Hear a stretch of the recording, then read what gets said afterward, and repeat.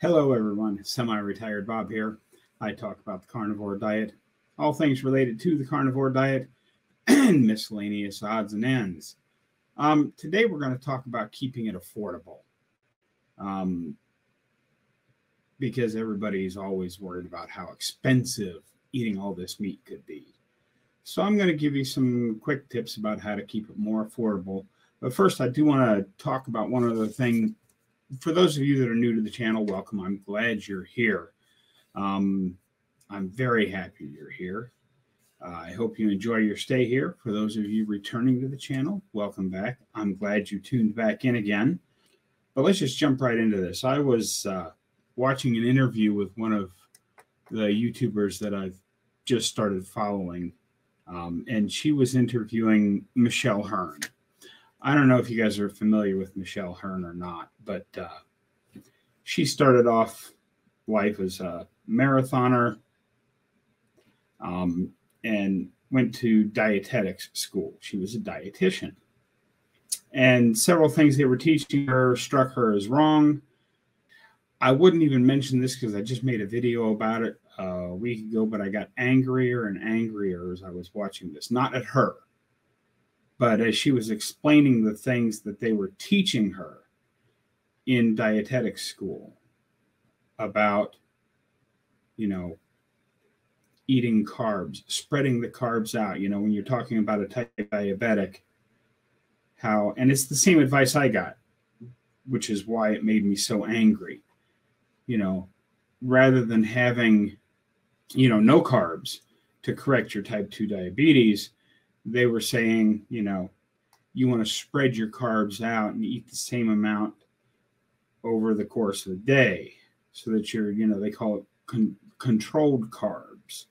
Um, you know, dietitian that I had at my doctor's office, you know, she had me on basically 60 carbs, three meals a day, and three 15 carb snacks well, if we do the math on that, 60 and 60 is 120, 180 plus 45, what is that? 225 carbs a day for a diabetic.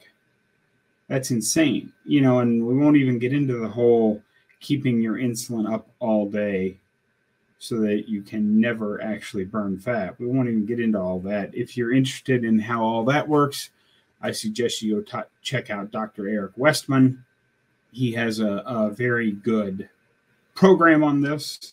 He talks about it a lot on his YouTube channel.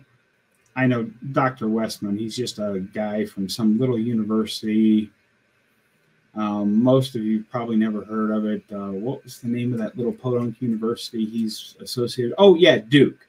He's at Duke University. So he probably knows a little bit about what he's talking about. So check out Dr. Eric Westman if you haven't done that already. But I just, sorry, I had to because I was watching this interview with Michelle Hurn and she was describing what they were teaching her in dietetic school. And it just made me angry that they're still today teaching that same stupid stuff. Because if you're diabetic, eating more carbs is not the answer. Even spreading them out over the course of the day is not the answer it's very simple. Just stop carbs down your neck. And in most cases, your type 2 diabetes will improve. And even if you're a type 1, the amount of insulin you need to keep that in check will continue to go down and down and down. Okay, but let's talk about this um, keeping it affordable. I first heard this from Dr. Chaffee, so I want to make sure I give him credit for this. But um, if you think of the foods in Olympic medal formula, yes, grass fed, grass finished, as Dr. Berry says, panda massage meats. That is the gold medal food. It is obviously the best. Now you have to decide for yourself if the best food is what you can afford because if you can only me i could afford to eat that stuff three or four days a month and then i'd have to fast the rest of the month and i'm not really interested in doing that the next level down grain finished beef and other grain finished meats. This is the silver medal food. Is it as good as the gold medal food? Well, no, the gold medal obviously wins, but the silver medal, medal food is still better than everything else. So if grain finished is all you can afford to eat on a daily basis, then by all means, that's what you should have.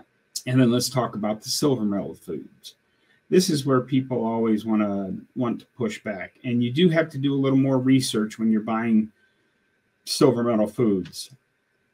And when I say research, I mean when you're in the store, flip it over, read the ingredients, look at the total carbs, look at you know the sugar. You're always going to have some bad stuff in, you know, hot dogs.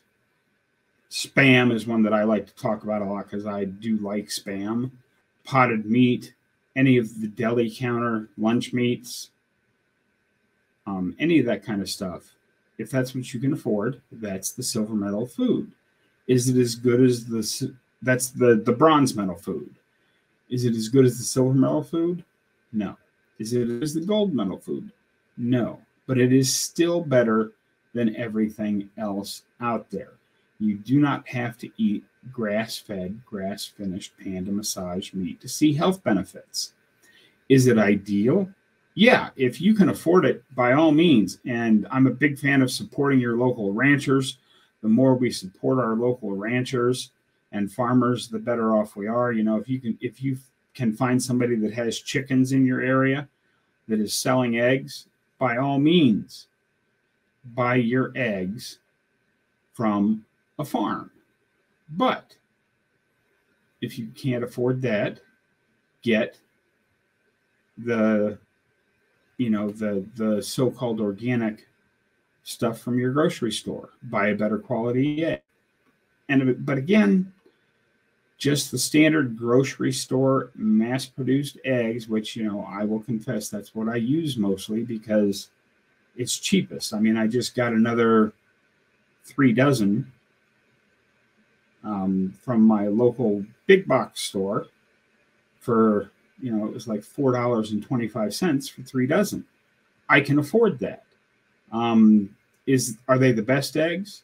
No, but the bronze medal food is still a lot better than everything else. So it doesn't have to be super expensive. I mean, I eat a lot of ground beef. I eat a lot of eggs. I seem to be doing okay with that.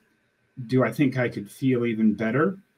I don't know. But I do know my bank account would not survive me trying to eat the silver and the gold medal foods every day.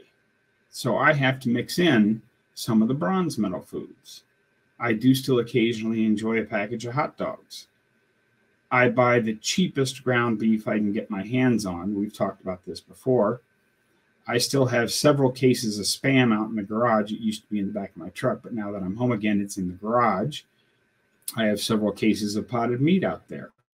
Um, I don't use spam and potted meat as much while I'm at home in Omaha because I get much better prices on food on beef here because you know Nebraska is the feedlot capital of the world. We have you know you can't you can't throw a rock without hitting a feedlot. So there's lots of good deals on beef out here. And one other thing that I had heard it before on several other channels, but I was just recently re watching through, um, you know, because I'm getting ready to move off grid. Um, but I was watching one of my favorite off grid channels, the Green Dream Project, and they've got a homestead down in Arizona. But they were talking about making your own bone broth, which reminded me. And I had talked to my butcher, and he said, Oh, sure, I can get you all that stuff you can, if you talk to your butcher, they may not put it out on the shelf, but they have soup bones for sale in the butcher department. Now, most people, they just take a soup bone, they throw it in a big pot, and they make a big pot of soup with it. But you can get, you know, basically a dollar to two dollars a pound for soup bones. And you'll find that those come with an awful lot of meat left on them. So if you tell your butcher you want, say, 20 pounds of soup bones, then you take those home and you cook them however you will, whether it's in the oven or on the grill or whatever. You you basically roast the whole batch for about 45 minutes. Then you cut all of the meat off and save that in a separate container. You're going to get some meat meals out of it. And then you take all the bones and some salt and then whatever other spices you may or may not tolerate. Throw all that in a big pot. I use a big crock pot. I've got one going right now. Hopefully, in a next video or two, I'll show you what I've what I made for bone broth for myself. It's the first time I've done this. So if it doesn't turn out right, I'll make some adjustments and and let you know about that. But then typically you put it on low in the crock pot and let it, you know, you cover the whole thing up with, you put your bones and your spices in, and then you fill it up with water. You cover it and you put it on low for about 48 hours and just let it sit there and simmer. Then you strain all the stuff off, and the meat that you couldn't get cut off the bones originally will have separated from the bones in this process. So you put that in your meat container and then you strain the bone broth and it makes an excellent meal, or so I'm told. I haven't actually tried any of it yet, but that's again a very cheap way, you know, buying soup bones and making your own bone broth and eating the meat off of those soup bones will get you many meals very cheaply. So this doesn't have to be expensive. Um, and once again, you know, if you can afford to go out to your local rancher and say, let, let me have that and then you take that cow to a processor and say, cut this up into steaks and roasts and hamburgers and everything else, and save me all the bones and parts that aren't edible so that I can boil it up into a bone broth. You know, if you can afford that, that's fantastic. I applaud you.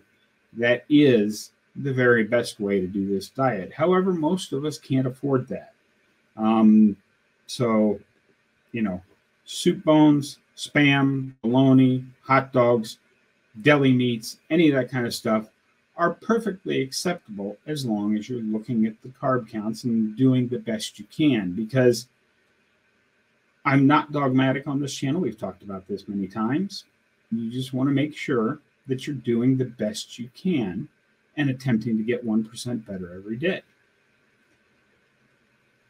Doing the best you can that is sustainable is the best way to go for each individual person. Now, what that will look like for each person is completely different. You have to make all those choices for yourself. But that's what I've got for you today on this fine Saturday.